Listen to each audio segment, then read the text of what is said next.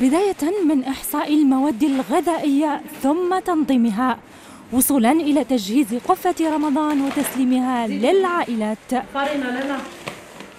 تبدأ الجمعية الخيرية يومها خلال شهر الرحمة على غرار جمعية الإرشاد والإصلاح هذه. إحنا سطرنا برنامج خاص بالشهر الكريم. من بين هذا ال هذا ال هذا النشاط هو آه، قضية آه، توزيع القفف قبل بإحصاء يعني خاصة في هذا الشهر الكريم. قمنا بإحصاء جميع الفقراء والمحتاجين المعوزين على مستوى البلدية. إضافة عندنا قضية كسر صيامك. إن شاء الله راح نقوموا به كسر صيامك هذا قبل فترة واستهدفنا مستشفى دويرة.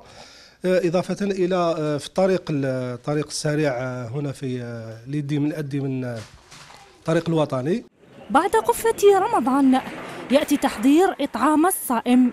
وهنا يبدأ أعضاء الجمعيات بتحضير مختلف الأطباق لإفطار عابري السبيل والعمال من خارج الولاية. البارح حضرنا 150 وجبة وما كفاتش. ولهذا اليوم بإذن الله راح نوسعوا المائدة. آه، نشكر رئيس بلدية بئر خادم اللي أعطانا الحظيرة راح نزيدوا كذلك تمام موائد باش نوسعوا العدد تقريبا 250 وجبة. هذه تقريبا آه، فيما يخص وجبات.